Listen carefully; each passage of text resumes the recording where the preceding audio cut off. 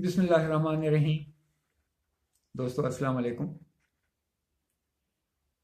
जो लोग मेडिकल के प्रोफेशन से वाबस्ता हैं और सिर्फ़ चस्के के लिए ये वीडियो देखते हैं तो उससे अर्ज़ है कि इस वीडियो में ऐसा कोई मफाद नहीं है। बल्कि ये बिल्कुल पाकिस्तान मेडिकल कमीशन के कानून का पोस्टमार्टम है, जो सिर्फ़ कानून दानों के लिए, कानून जानने वालों के लिए कानून बनाने वालों के लिए और उन लोगों के लिए दिलचस्पी का बायस होगा जो कानून पर अमल दरामद के जिम्मेदार हैं और मेडिकल शोबा के रेगुलेशन पे और इस कानून की अमलदारी में दिलचस्पी रखते हैं। पाकिस्तान मेडिकल कमीशन के कानून के प्रीएम्बल में लिखा हुआ है कि ये for the regulation and control of medical profession and to establish uniform minimum standard of basic and higher medical education and training and recognition of qualification in medicine and dentistry के लिए बनाया जा रहा है मैं इसको एक दफ़ा फिर पढ़ देता हूँ इसमें एक बहुत इंपॉर्टेंट चीज़ है कि ये regulation and control of medical profession है मेडिकल प्रोफेशन की डेफिनेशन में जब आप उसको एक्सप्लेन करना शुरू करेंगे तो आपको परेशानी शुरू होगी कि उसमें नर्सिंग भी आएगी मेडिकल प्रोफेशन है, लेकिन इस कानून में उसकी कोई गुंजाइश नहीं है। उसमें फार्मासिस्ट भी आएँगे मेडिकल प्रोफेशन से हैं, कोई ज़िक्र नहीं है।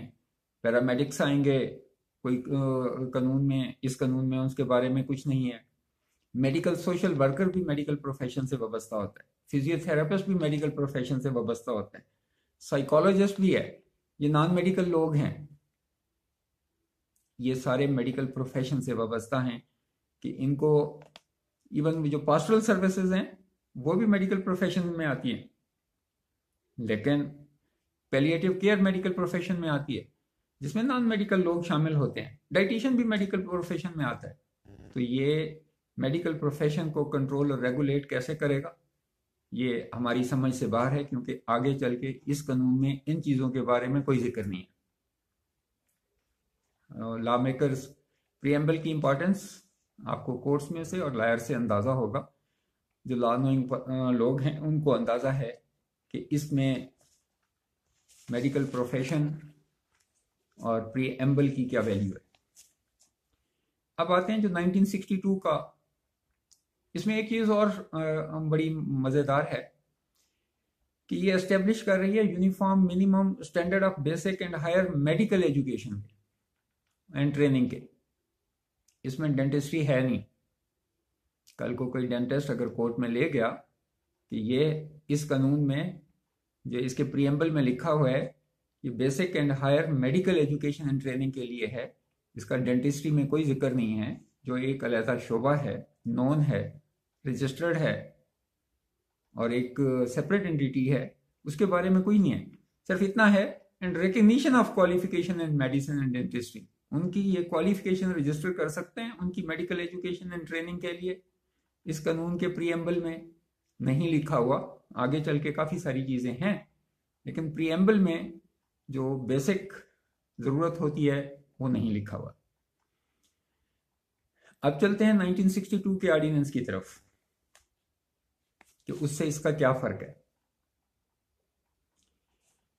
जब वो 1962 का ऑर्डिनेंस आया, वो ये नहीं है कि उस वक्त मेडिकल काउंसिल नहीं थी। पाकिस्तान में मेडिकल काउंसिल उन्नीस से एग्जिस्ट करती है, जब से पाकिस्तान बना है। उस वक्त जो इंडियन मेडिकल काउंसिल का 1933 का एक्ट था, उसी को अडॉप्ट कर लिया गया था। उसके बाद फिर एक हेल्थ कॉन्फ्रेंस हुई।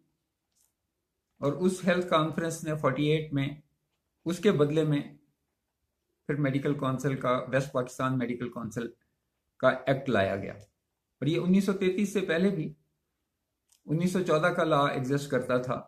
वो मैं 1914 का लॉ इसलिए बता रहा हूँ कि जो ईस्ट पाकिस्तान और वेस्ट पाकिस्तान के हिसाब से तो वो बंगाल में जो 1914 का कानून नाफिज था।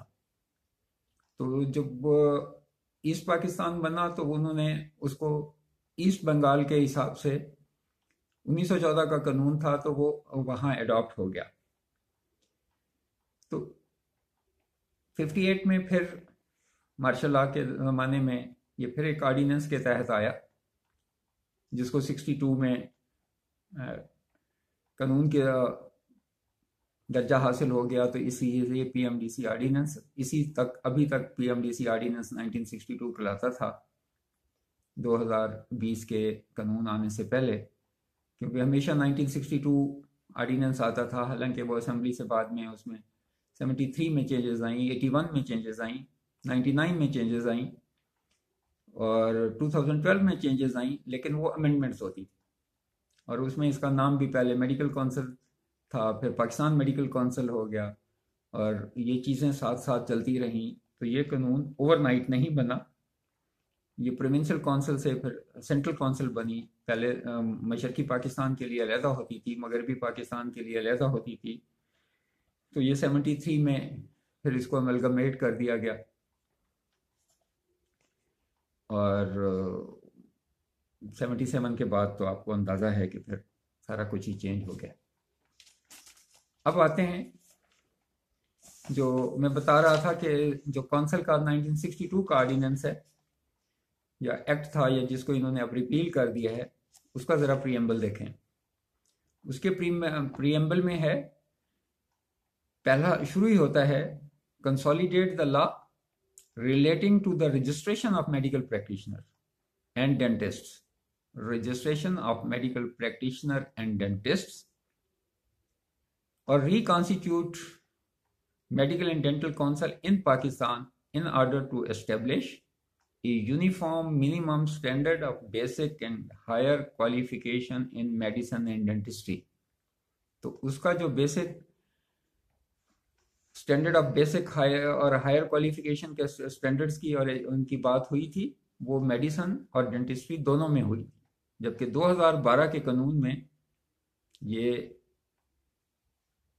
एरर भी हो सकता है वीएन भी हो सकती है मोटिव भी हो सकता है कि डेंटिस्ट्री को इसको लहदा कर दिया जाए। तो इसमें प्री में जो बेसिक एंड हायर क्वालिफिकेशन की बात हुई है, ये एजुकेशन एंड ट्रेनिंग की बात हुई है, उसमें डेंटिस्ट्री शामिल नहीं है। ये तो हमारा पहला पॉइंट था कि इनके प्री में इतना फ़र्क है। अब उसका दूसरा जो इम्पोर्टेंट चीज़ है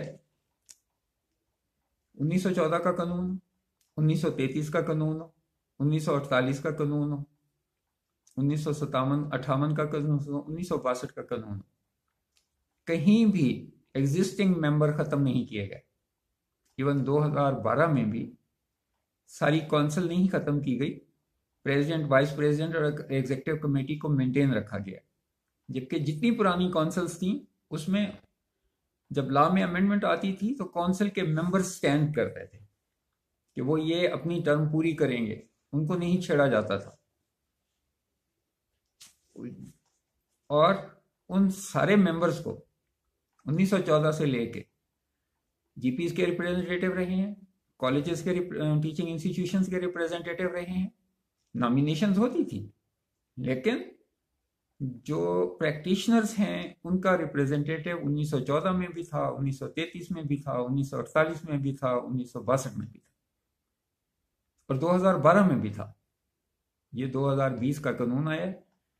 जब ये वज़ीर सेहत फरमाते हैं कि तीसरा फ्रीक मेडिकल प्रोफेशन है तो वो मेडिकल प्रोफेशन चंद गिने चुने लोग नहीं हैं और वो भी प्राइवेट सेक्टर से आपने हैंड पैक लोग दिए हैं, जिनकी प्रोफेशन में प्रोफेशन में कोई रिकग्निशन नहीं है।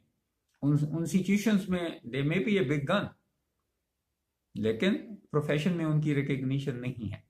जब उनकी प्रोफेशन में रिकग्निशन नहीं है तो वो प्रोफेशन को रिप्रेजेंट नहीं करते। तो मेडिकल प्रोफेशन को इसको स्टेक होल्डर नहीं बनाया गया या उससे वो चीज़ नहीं थी। और एक छोटी सी चीज़ और मैं इसमें ऐड करता जाऊँ। ला के हिसाब से, जबानी कलामी नहीं। सारे एक्ट्स में, सारे ऑर्डिनेंस में मुलाजमों को नहीं छेड़ा गया। जो मुलाजिम थे, उनकी पर्स प्रिविलेजेस को नहीं छेड़ा गया। उनको कंट्रोल रखा गया, उनको साथ रखा गया आपको हायरिंग फायरिंग पावर की तो हमेशा होती है। करप्ट बंदे को जेल भेजने में से किसको अमर माने? मेरे होते हुए एक्स सेक्रेटरी जेल चला गया। एक एलडीसी भी जेल चला गया था। एक और बंदा था, उसने जेली डिग्री दे के अपनी प्रमोशन ली हुई थी। उसको भी निकाल दिया। तो ये आपके पास कैपेबिलिटी होनी चाहिए कि अगर आप कहें कि जी करप्शन ये लोग करप्ट हैं, आप उसको ला का प्रोसेस मुकम्मल करें और उसको फायरिंग कर दें। लेकिन किसी के साथ ज़्यादा ना करें। तो ये एक तो उन्होंने मेंबर्स खत्म किए। जितने भी पीछे ऑर्डिनेंसेस आए, उन्होंने मेंबर्स उड़ा दिए पीएमसी कि जो एग्जिस्टिंग मेंबर्स थे, उनको उनकी टर्म्स पूरी होनी चाहिए थी और वो सिस्टम था। दूसरा है कि मेडिकल प्रोफेशन की रिप्रेजेंटेशन नहीं है। तीसरा ये है कि मुलाजमों को हुकूमत ने तहफ़ देने की बजाय उनको उठा के बाहर फेंक दिया। तो ये एक इनिशियल असेसमेंट थी। आगे चल के इसकी काफ़ी सारी किस्तें आपको बताएँगे, इसके लाम में फलास बताएँगे, इसको चीज़ें बताएँगे। और मेरा ज़ाती ख्याल है कि ये जितनी देर में मैं अपनी एनालिसिस ख़त्म करूँगा, उतनी देर में ये लाज चैलेंज हो जाएगा और इसमें इतने फलास हैं कि काबिल वकील इन अला अदालतों से इसमें से रिलीफ ले लेगा। अगली वीडियो तक इजाज़त दें, शुक्रिया।